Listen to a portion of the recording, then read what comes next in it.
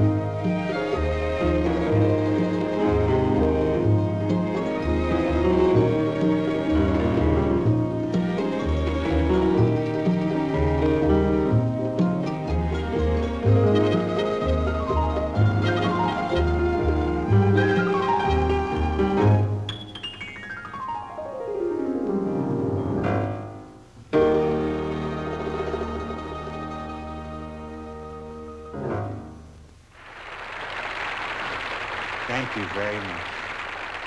Thank you.